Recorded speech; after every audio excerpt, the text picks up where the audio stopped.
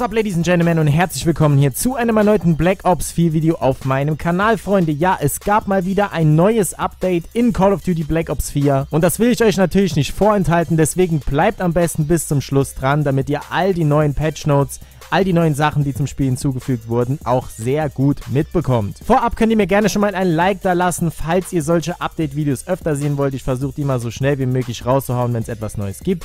Und ihr könnt natürlich auch gerne den Kanal abonnieren und die Glocke aktivieren. Fangen wir direkt mal mit einer sehr, sehr erfreulichen Nachricht an, denn ab dem 9. November, das heißt diesen Freitag, ich denke mal so ab 7 Uhr, so ist das normal ja immer bei Black Ops 4, gibt es doppelte Erfahrungspunkte im Schwarzmarkt. Das heißt, ihr steigt die Stufen im Schwarzmarkt doppelt so schnell auf. Ich habe ja mal in einem Video ausgerechnet, wie lange es ungefähr dauert, dass man eine Stufe im Schwarzmarkt aufsteigt. Ihr könnt euch das Video gerne nochmal reinziehen, indem ihr einfach in die Videobeschreibung geht. Dort werde ich dann den Link von dem Video reinpacken. Auf jeden Fall bekommen wir ab Freitag, den 9. November, doppelte Erfahrungspunkte im Schwarzmarkt. Ziemlich, ziemlich geil, denn ich denke mal, jeder von euch wird schon gemerkt haben, dass das Aufsteigen der Stufen in Black Ops 4 extrem lange dauert. Das ist einfach nur krass, wie lange es dauert. Und da tut einem dieses doppelte XP schon sehr, sehr gut. Und für die Zombie-Spieler unter euch gibt es dann auch noch doppelte XP für dieses Plasma, das man im Zombie-Modus farmen kann. Und das natürlich auch alles ab dem 9. November, Freunde. Im Blackout-Modus spawnt jetzt dieser Blightvater aus dem Zombie-Modus auch in diesen Zombie-Areas. Ich habe euch da mal im Hintergrund ein kleines Video eingeblendet, wie das Ganze dann aussieht.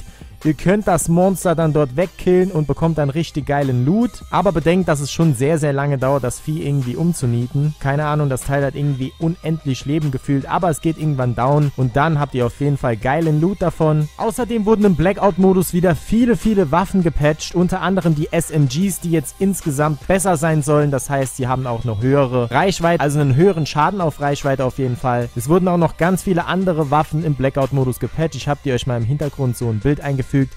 Wo ihr das Ganze nachlesen könnt, wurde auch schon sehr, sehr viel getan. Außerdem wurde im Multiplayer-Modus etwas an den vorgestellten Multiplayer-Playlists geändert. Dort haben wir nämlich jetzt das Team Taktik Moshpit, Kontrolle, Waffenspiel, Söldner Chaos Moshpit und Söldner Hardcore Moshpit. Und jetzt noch eine sehr, sehr krasse Änderung, denn jeder von euch, ich glaube wirklich jeder von euch, hasst die Ninebang von unserem Spezialisten Ajax. Und die Ninebang wurde einfach komplett aus Blackout entfernt. Treyarch hat nämlich getwittert, dass sie zumindest vorübergehend die Ninebang-Granate aus dem Blackout-Modus rausnehmen, um einfach zu überlegen, wie sie sie besser ins Spiel einfügen können. Jetzt wird natürlich jeder traurig sein, was ist mit dem Multiplayer-Modus. Denn ich finde, dass die Ninebang im Multiplayer-Modus einfach katastrophal ist und ich hoffe, dass dort auch unbedingt irgendetwas geändert wird. Ich denke mal, dass die Chancen hier gar nicht so schlecht stehen. Treyarch macht sich auf jeden Fall Gedanken um die Nine Bang. Sie haben sie jetzt komplett aus dem Blackout-Modus rausgenommen. Vielleicht sehen wir ja in zukünftigen Updates endlich was an der Nine Bang, die ein bisschen genervt wird, beziehungsweise viel genervt wird.